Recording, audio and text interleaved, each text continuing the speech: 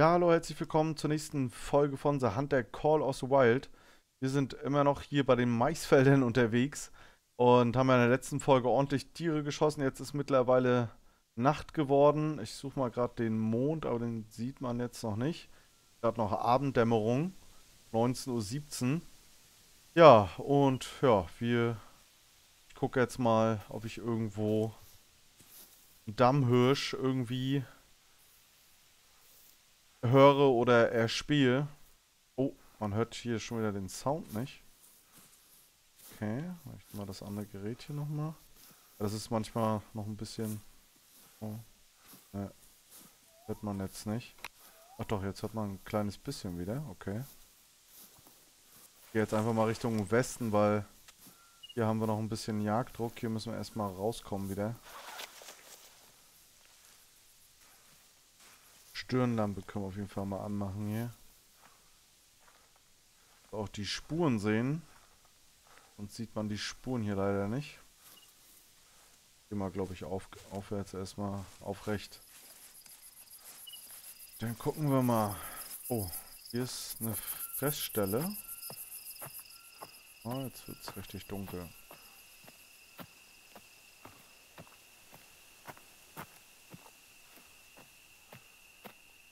Ja, Lockpfeifen haben wir jetzt erstmal für Kojote, Fuchs, Dammhirsch, Reh und für die normalen Hirsche. Also für die Schwarz- und Weißwedelhirsche. Hier haben wir noch eine Spur, da gucken wir gleich mal. Wenn wir irgendwo einen Warning Call kriegen, dann gehen wir sofort in Schleichstellung. So, jetzt kommen wir langsam aus dem Jagddruck Gebiet raus. Ja, doch, die Spur ist schon mal richtig. Das ist aber ein Reh wieder. Ja, ein Reh wollen wir jetzt eigentlich nicht, aber dann nur noch ein weibliches. Aber wir können es ja mal rancallen.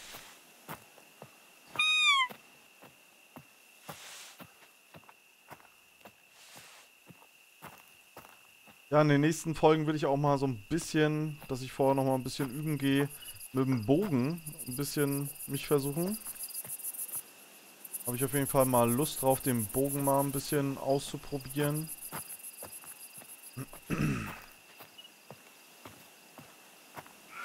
Oh. Das war, glaube ich, das Reh. Nehmen wir runter. Haben jetzt zwar keine Anzeige gekriegt, aber das wird, denke ich mal, das Reh irgendwo sein da vorne. Hier haben wir noch eine Kotspur.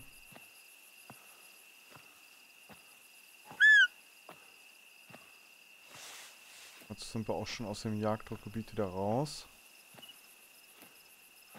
Ja, noch ein guter Tipp ist auch, wenn ihr jetzt das Tier schießt und ihr schießt es nur an, sag ich mal, eine Fleischwunde oder ein ganz minimaler Treffer nur. Und auf einmal rennt ihr dem Tier hinterher quasi oder ihr verfolgt die Spur. Und ähm, dann ist halt im PDA zu sehen oder auf der Map halt auch ähm, ein lila Kreis. Das ist quasi das, der Jagddruckkreis. Dann wisst ihr, dass das Tier tot ist. Dann könnt ihr quasi einfach hinterher sprinten, weil die Leiche auf jeden Fall irgendwo in der Mitte dieses Kreises liegt. Da ist auch schon das Reh. Gucken wir mal. Wir den jetzt hier erwischen.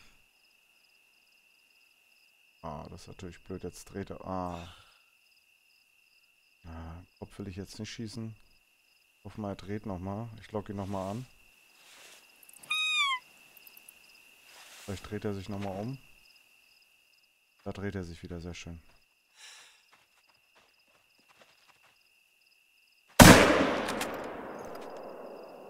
So, jetzt seht ihr zum Beispiel auf dem PDA, ist jetzt Jagddruckgebiet entstanden. Ne, weil die Leiche da jetzt liegt. Und wenn ihr jetzt die Leiche, wenn ihr jetzt ewig hinterherlauft, und äh, ist halt wirklich nur eine kleine Wunde. Ähm, dann könnt ihr auf jeden Fall, wenn sobald dieser lila Kreis erscheint, wisst ihr, dass das Tier tot ist und irgendwo liegt, ne? Ja, danke nochmal für den Tipp. Äh, hatte ich heute bekommen. Auf jeden Fall sehr cooler Tipp. Danke nochmal an den Follower und den, oder den Abonnenten. Ja, wo haben wir ihn denn getroffen? Ins Herz. Ja.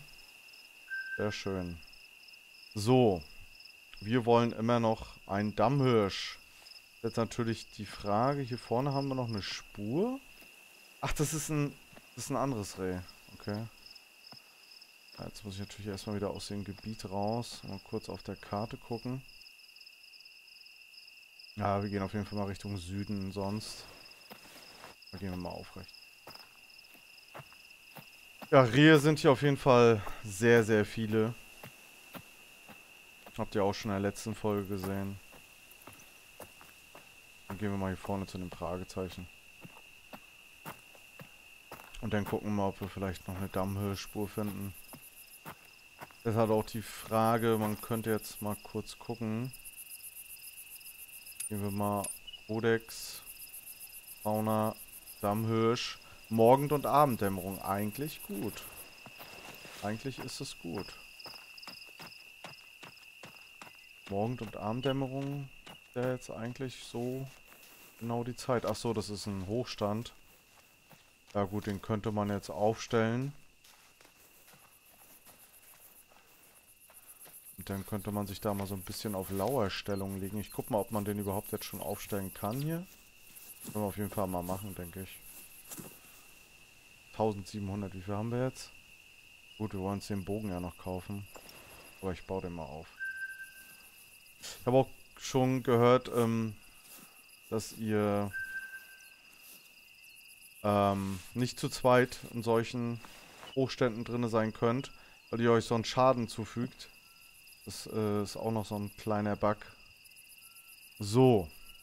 Holen wir, uns mal, holen wir mal die Geweihrasse raus.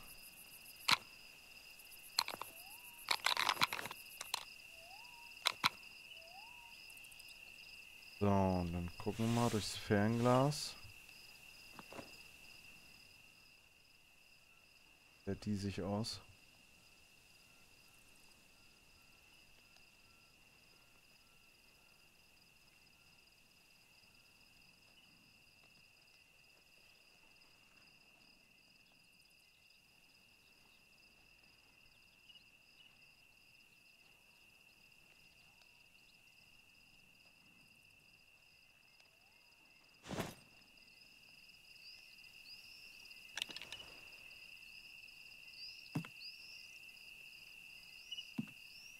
Hier seid ihr auf jeden Fall komplett lau... Ne, seid ihr nicht. Okay, hier drinnen also auch langsam bewegen. Auf jeden Fall sehr schön aus hier. Ich mache auch gleich nochmal ein Bild.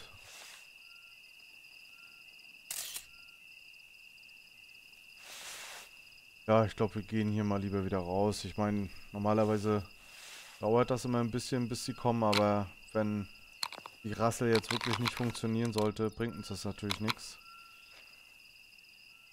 Jetzt hier drinnen bleiben. Erstmal wieder raus. Aber schon mal für später haben wir schon mal hier einen Hochstand. Wir müssen Richtung Südwesten.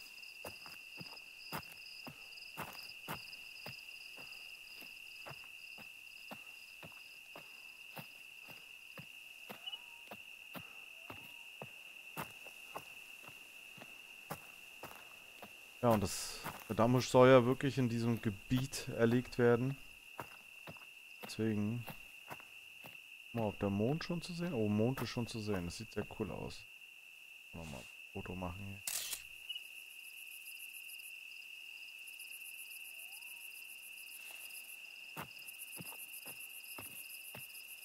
Können ja auch mal hier in den Wäldern gucken. In den angrenzenden Wäldern, da halten sich ja auch mal gerne auf. Achso, wir müssen das Licht wieder anmachen, sonst sehen wir die Spuren leider nicht. Da vorne? Eine Spur? Nee. Oder? Nee.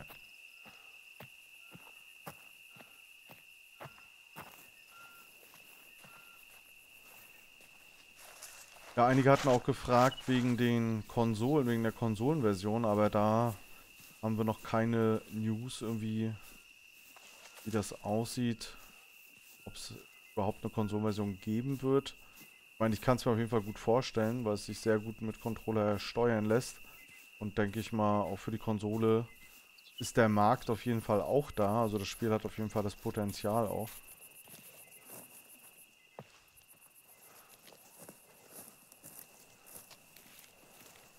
So, wir müssen auf jeden Fall jetzt eine Spur finden.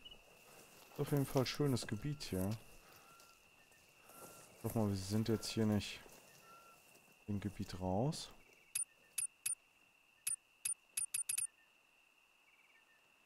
Sind glaube ich schon an der Grenze. Müssen wir jetzt mal wieder ein bisschen nach Süden gehen.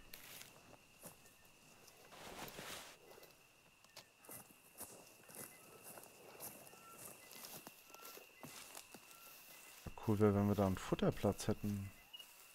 Den Hirschen. Hier? Das ist jetzt aber nicht angezeigt, in welchem Tier das jetzt ist.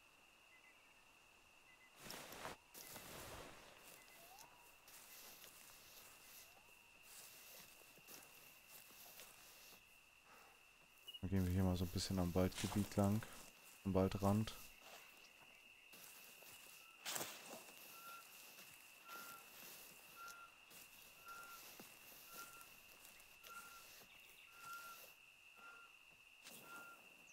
Ah, sieht echt cool aus, wie der Nebel über das Feld überzieht. Wunder, wunderschön.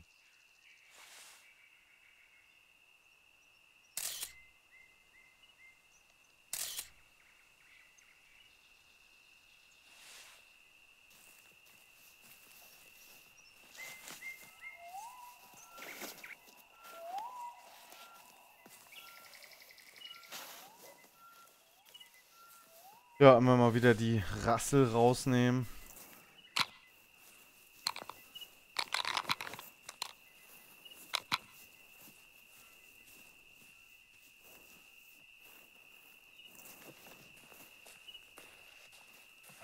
Oh. Oh, schon. Ach, ein Rotfuchs. Okay. Na, nimm ihn doch. Macht er denn da? Boah, sag mal. Hier kaputt. Checkt den gar nicht mehr ein. Aber man hört das jetzt auch gerade nicht, den Caller. Okay. Ach, jetzt.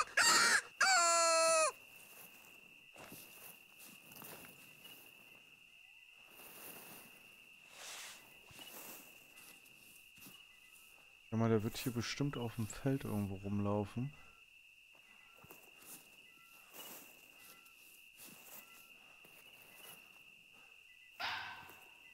Direkt vor uns irgendwo.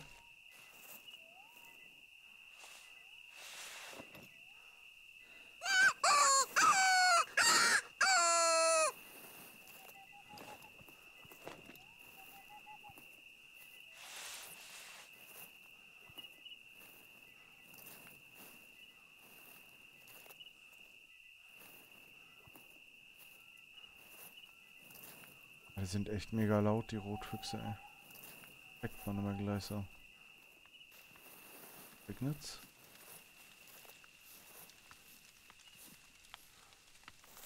So, jetzt sollten wir ihn eigentlich sehen, aber den tue ich jetzt nicht zwischen den Mais.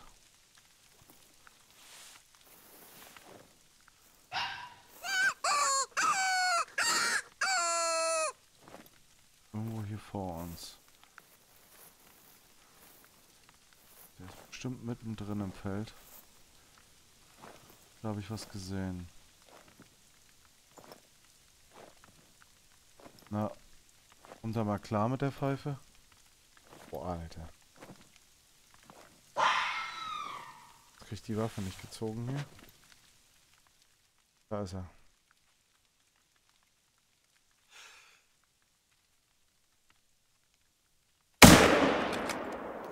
Was? Nicht getroffen? Lol. Haben wir daneben geschossen? Erstmal Licht anmachen. Wirklich nur einen kleinen Blutkreis, lol. Fleischwunde. Na geil. Und wenn wir ihn jetzt hinterherlaufen, beziehungsweise müssen ja nicht so schnell laufen, aber gehen jetzt mal hinterher. Jetzt haben wir gesehen, habt ihr gerade gesehen? Jetzt ist dieser der Jagddruck, die Jagdruckintensität aufgetaucht. Das heißt, er liegt jetzt hier irgendwo. Also weit ist er nicht gekommen. Jetzt können wir auch hinterher laufen. Da unten liegt er, glaube ich, irgendwo. Da liegt er doch schon. Gucken mal, wo wir ihn getroffen haben. 1099, weiblich. Muskeltreffer, aber hat gereicht. So, wir sind jetzt, glaube ich, fast aus dem Gebiet wieder raus. Muss auf jeden Fall jetzt Richtung Südosten gehen. Ja, und dann hoffe ich mal, dass wir die Quest jetzt irgendwie machen können hier. Bei Nacht ist das ja immer so eine Sache. Jetzt einfach mal am Rand irgendwie lang. Finden wir hier noch irgendwo eine Spur.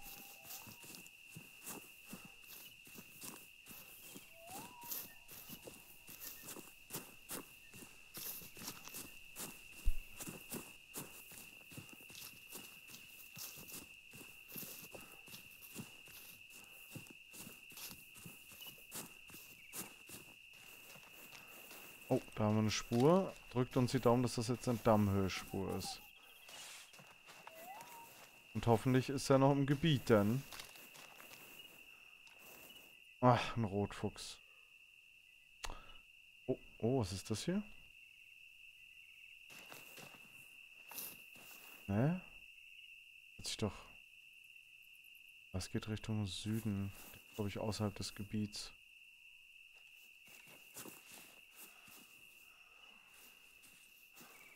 Ja, da ist außerhalb des Gebiets auf jeden Fall. Müssten den quasi hier in das Gebiet reinlocken.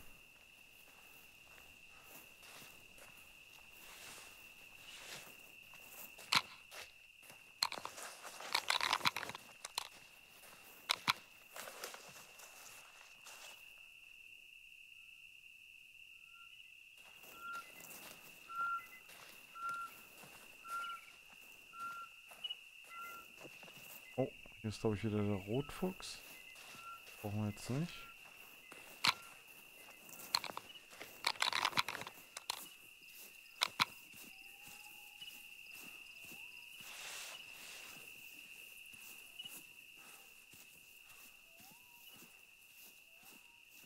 Nochmal am Rand.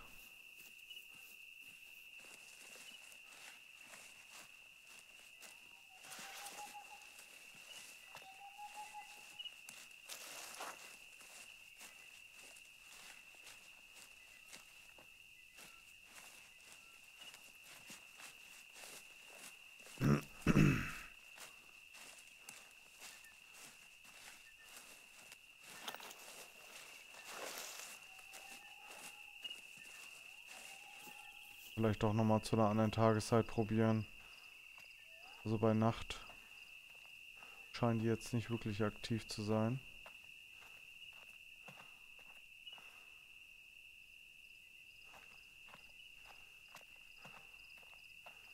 Haben wir noch ein Fragezeichen. Ich glaube wieder ein Hochstand, wenn mich das nicht täuscht. Oh, hier haben wir eine Spur.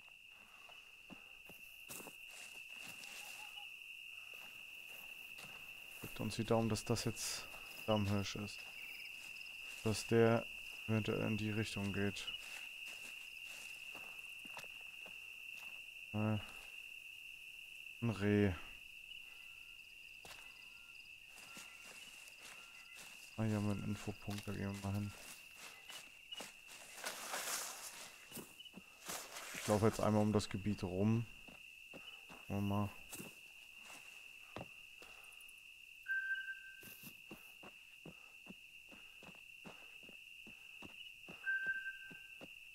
Aber die Punkte würde ich auch, euch auch immer empfehlen, immer mitzunehmen.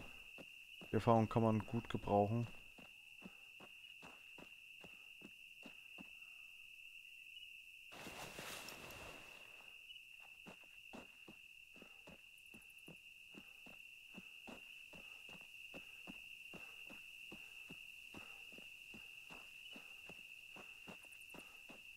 Hier könnten wir jetzt auch noch mal gucken.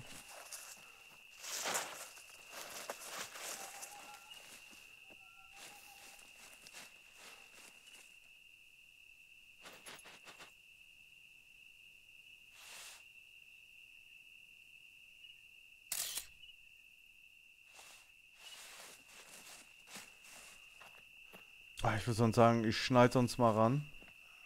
Weil sind wir hier noch ewig unterwegs. Und dann schließlich die Quest zu Ende bringen. Und dann bis gleich.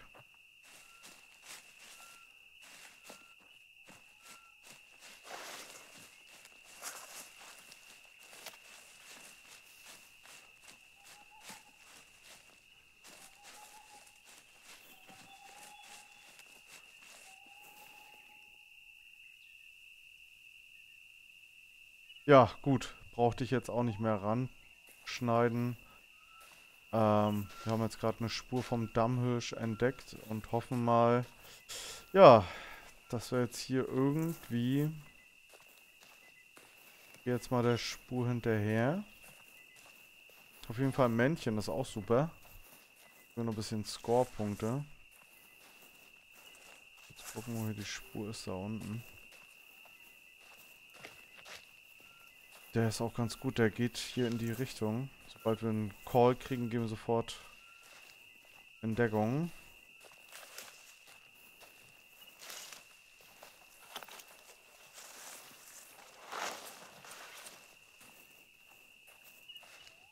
Hier unten. Vielleicht sehen wir ihn auch gleich.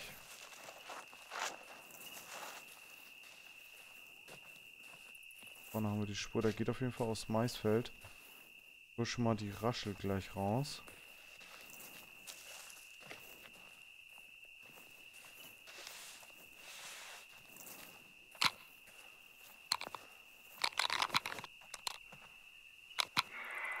Oh, da ist er, glaube ich. Ja, das ist er. Ein Warnruf. Okay, jetzt müssen wir ganz langsam gehen. Und der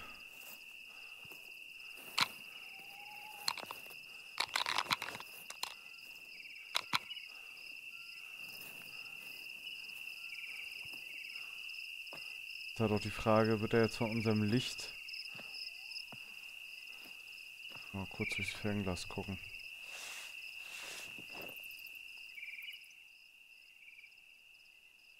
Da ist er. Ja.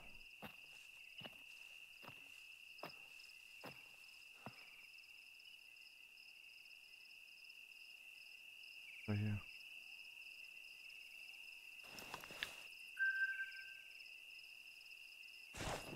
So, Dann gucken wir den schon anvisieren können.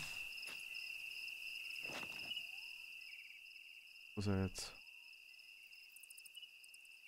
Ah, hier.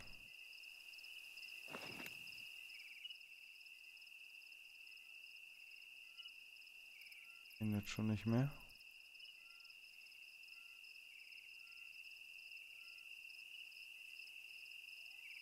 Da müssen wir mal hinterher. Duckt auf jeden Fall. Oh, geblo- Rumpfschrei, jetzt können wir ihn rankallen.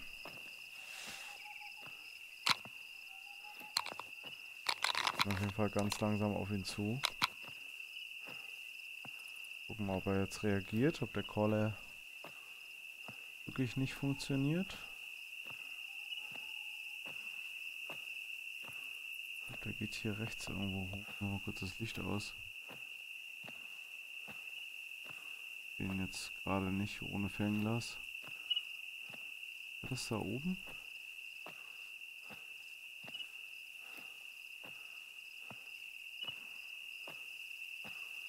Kurz Fernglas rausholen.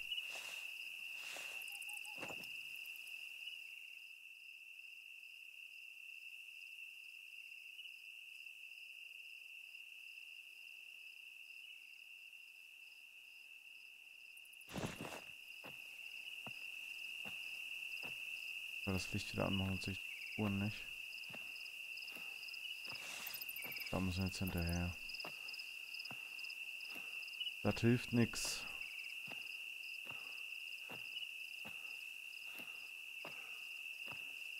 Habt ihr jetzt gesehen, mit dem Fernglas habe ich jetzt auch... Oh, der ist aber ewig. Ein Warnruf? Den noch nicht mal. Sind mir denn hier ein Warnruf?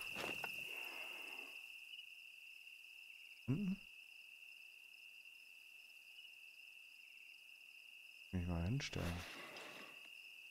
Da ist er.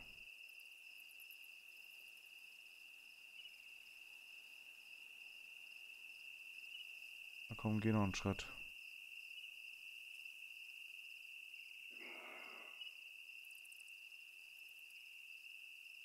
Schieß jetzt.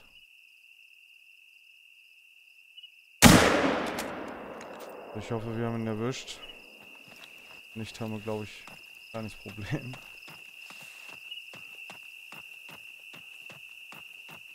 Ich glaube, da liegt er doch, oder? Der, der lebt noch. Oder?